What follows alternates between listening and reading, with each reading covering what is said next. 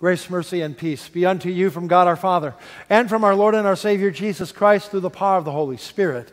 Amen. Would you please pray with me? Dear Father in heaven, we need your involvement.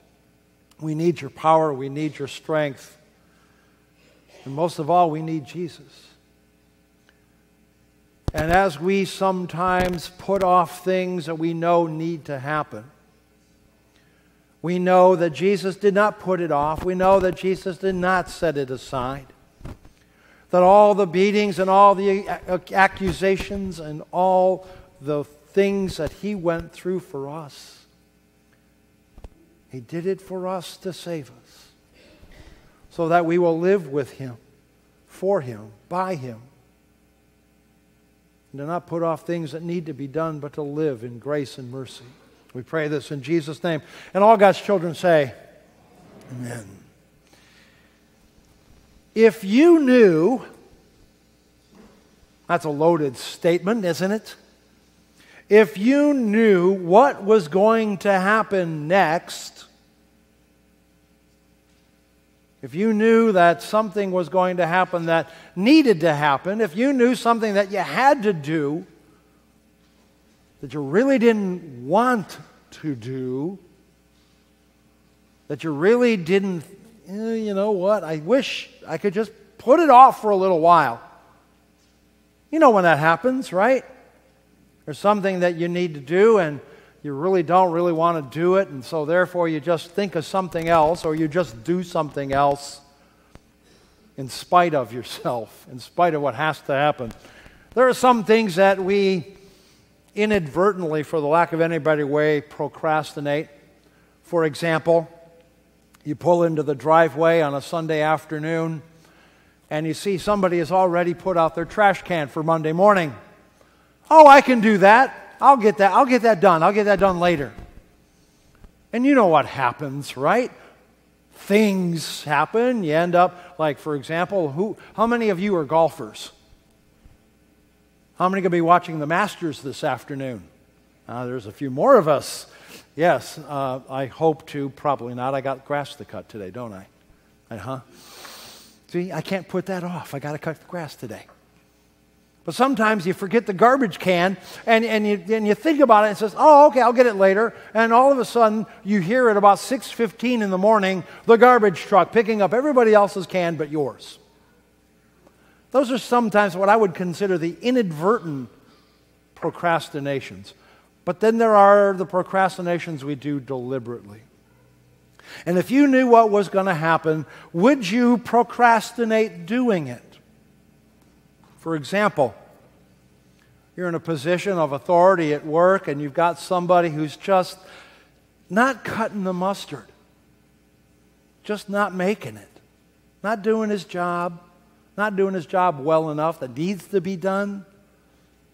And you know, you've warned this person over and over and over again hey, you know what? You're on the verge. You're on the verge. Got to get it, got to get it together. And nothing happens.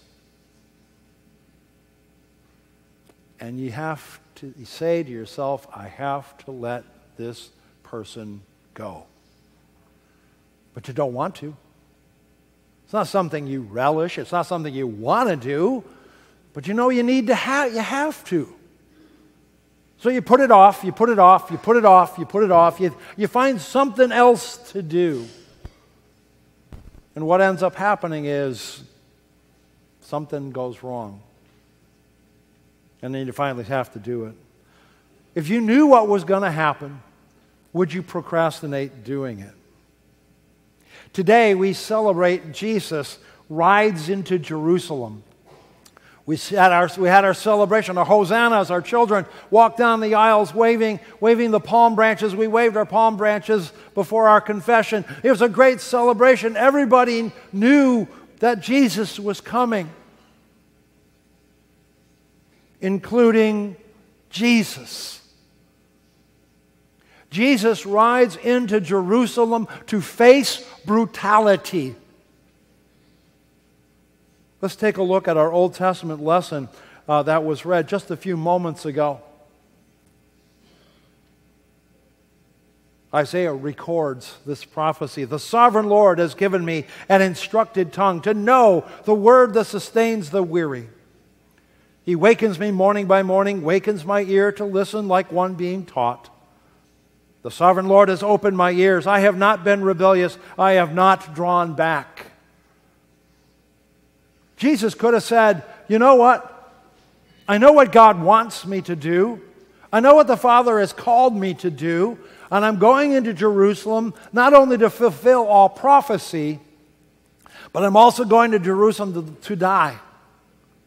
He had told his apostles ever since they came off the mountain of transfiguration until this very moment. He has told them over and over and over again I must go into Jerusalem. I must be handed over and eh, betrayed into the hands of sinful men. I must be crucified. I must die. And yes, also, I must rise again. He said that over and over and over. They didn't get it. Peter even said on the eve of his crucifixion, Lord, I'm, I'm never going to let this happen to you. I'm not going to abandon you. I'm not going to run away from you. And Jesus calmly says, Peter, today before the rooster crows, you will deny me three times.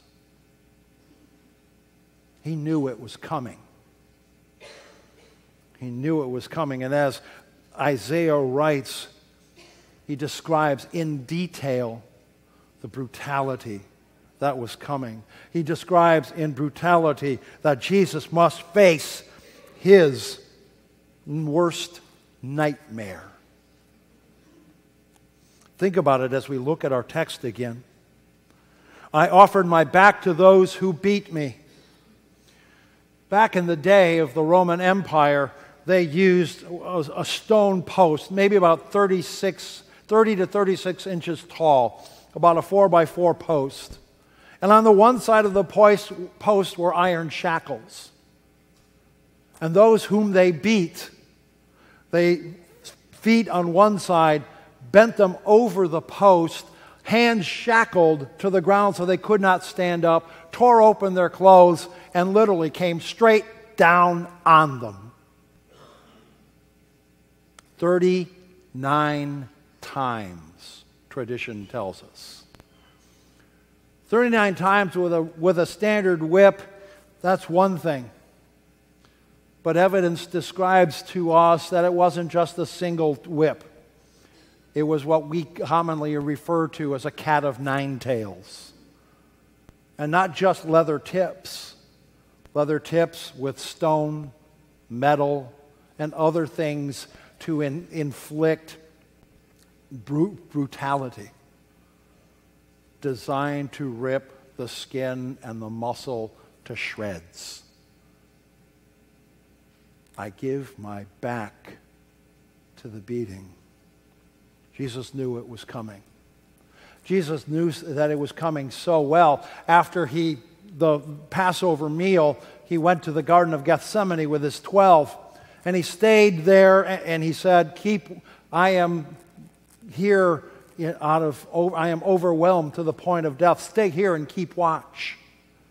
And he goes off into the garden of, garden of Gethsemane and he prays this prayer Father, if it is at all possible, take this cup from me.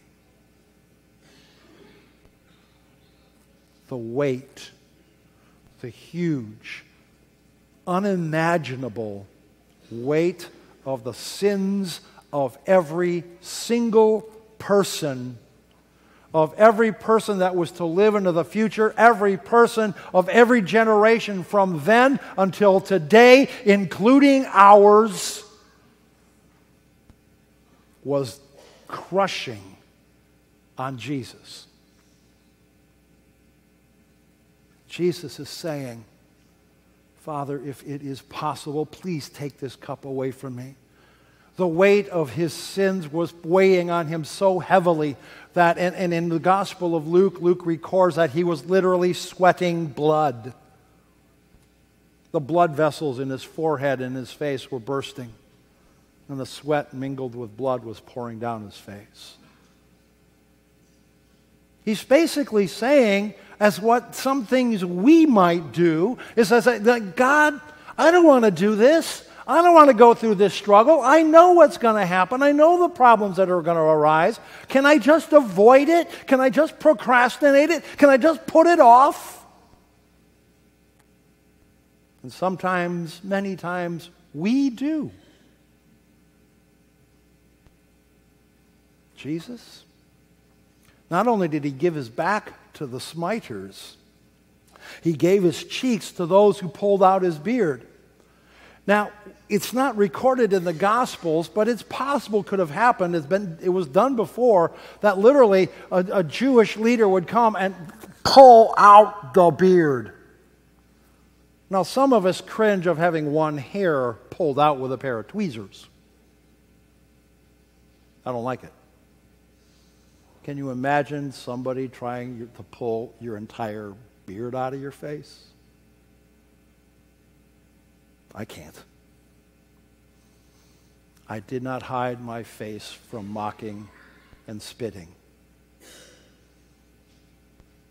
If you are the Son of God, come down off that cross and we will believe in you. He saved others. Come on, let him save himself.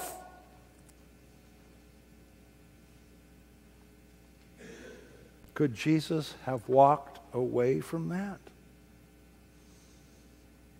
No. He could not. He did it to save us from our sins. He did it to save us. He endured hell on earth so that we would be forgiven. He did it. He faced it all so that we would have life, so that we will shout not only hosannas on, on Palm Sunday, but hosannas every day of our lives. He did it so that we would be freed from our sins and our sinfulness. He did it so that we would have life and have it to the full with Him. He did it for us to be with Him forever. Yes, He could have put it off, but He didn't. So, we live in His strength. Now let's go back to our temptations. Let's go back to our procrastinations and the opportunities that we have to do what we know needs to be done, but yet we keep putting it off and putting it off.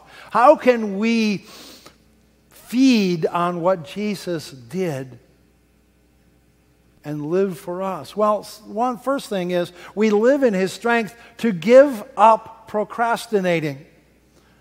Yes, sometimes it's challenging. Yes, sometimes there are things that we much rather never do or never have to do. But we live by the strength of God through Jesus Christ. We live by His grace. And yes, sometimes we have to do things that are not pleasing, but yet through the power of God, we have strength to make it through. We have strength to have, and, and God gives us His Holy Spirit to make it through the struggles that we face. And we live in His strength to be strong and courageous. That's a quote from Joshua chapter 1. Here is Joshua. He's leading millions and millions of people. His calling now is to take the nation of Israel from the east side of the Jordan River onto the west side of the Jordan River into the promised land. And Joshua is going, I can't do this. The job is too overwhelming, the task is too difficult. I, I, I, don't know how Moses did it. I have no idea. I can't, I, I can't do it. And then God comes to Joshua just before and he says, Be of good courage, be strong and courageous. Why? Because I am with you. Be strong and courageous to live out your life. Be strong and courageous to face the things that you're trying to avoid. Face it with the strength and the courage that God gives to you so that you will go through those challenges and into the next stage. Not to go around them, not to bypass them, but to go through them. Be strong and courageous, God says to you. to face the challenges that we sometimes would like to avoid. Be strong and courageous. And all God's children say, and the peace of God that passes all understanding. Keep our hearts and our minds in Christ Jesus our Lord. Amen. And let us sing our song of response Hosanna, praise is rising.